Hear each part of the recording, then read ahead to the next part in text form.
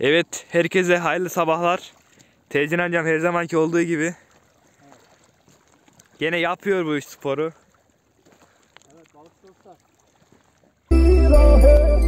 Bizim kimseye eğecek başımız, verecek hesabımız yok.